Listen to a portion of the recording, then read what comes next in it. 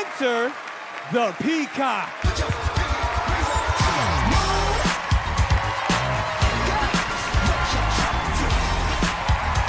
Look at the blue. Oh my God! That is even better than I ever thought. Oh, Smooth. Swag. Can it be the figure skater Johnny Weir because his outfit is so extravagant? Good thought. Good thought. I chose to become the peacock because we both share a love of the spotlight. When I was five years old, I walked onto a stage for the first time. And from that day on, I was hooked. Piano's a clue. Putting on a show is in my DNA. It's giving me Vegas vibes. but it's probably been a while since your mom had a poster of me on her bedroom wall. I guess it's not Johnny Weir if he's been famous for a while. As my dear friend Michael Jackson once told me, Wow! if you're going to reinvent yourself, you have to become someone the world has never seen before. So here goes.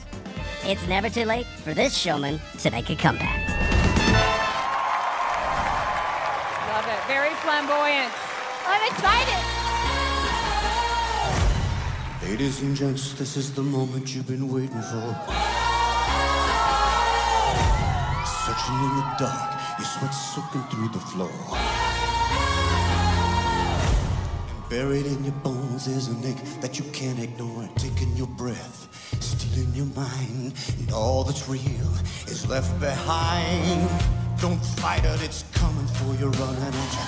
It's Yeah, voice is strong. comes up. Your fever dream, can't you see it getting closer? Just surrender, cause you Gosh, I feel know the that feeling voice. taking over. It's fire, He's a performer. It's a preacher in the pulpit, and you find a potion. It's at the and at the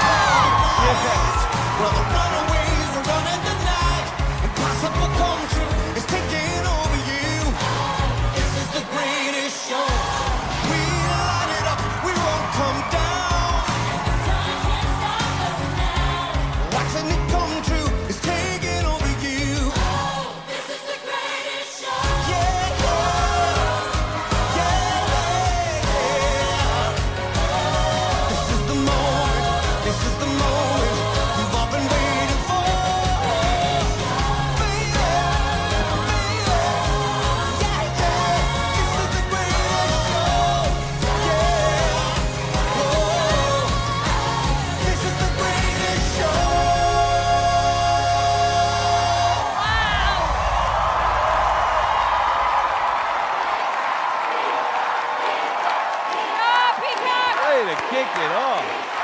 Peacock can strut your stuff. Look at him! Who's ever under that mask definitely knows what they're doing. And they got style too. I was gonna steal them shoes, Peacock. I'm gonna holler at you later. Gang, what do you guys think about Peacock's performance? Oh my gosh, what a way to open up the series. Yes. It's the greatest show. It's probably the most bizarre show because I'm talking to a peacock. but like, I didn't expect that. Your voice is like, oh, it's like butter.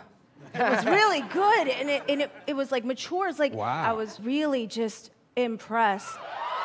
Obviously, he's a trained uh, performer, professionally trained, been performing for many, many years. It's very obvious. So true. All right, you picking up on any hints already? Judging by your voice, it's definitely a woman. I can definitely tell you that. and I am so loving that blue outfit. I have no idea who you are, but afterwards, I'd love to wear that and look fierce at an after party. Right? Get in line, get in line. I mean, this might be a little bit on the money, but uh, could it be Hugh Jackman? Hugh Jackman's like 6'5". He's a lot taller than, the, than that peacock. Hugh Jackman is 6'5? I, I mean, at first I was thinking because of the song choice, I was thinking Zac Efron, but he's No. from the Clue package. He's much older than that. I don't think so. Uh, you know, I definitely feel that Vegas vibe. So maybe a comedian in well, Vegas? well, Vegas. I definitely got the Vegas thing. Maybe mm. somebody like Jimmy Kimmel. He's from Vegas, but I Jimmy don't think Kimmel he- can't sing. I think an overall performer for sure, but like magician vibes. And it's very, that color is like living for Vegas. I don't know any musicians who can sing like that, though. That was pretty impressive. Have you ever been a part of a magic act and was possibly mauled by a tiger? Oh my God. I have never been mauled by a tiger, but I have been part of a magic act. Good question, Nicole. I'm thinking Teller of Penn and Teller, maybe. I was feeling that. I cannot wait to find out who this is. This is much harder than I thought it would be. We definitely have our work cut out for us. All right, well, the case is closed for now. Let's hear it for the Peacock. Our panelists thought one of these celebrities might be under the mask. Who do you think it is? So Vegas. He's so Vegas. Oh, it is, right? If Liberace was alive, I would think Yeah. it was him. Yeah, yeah.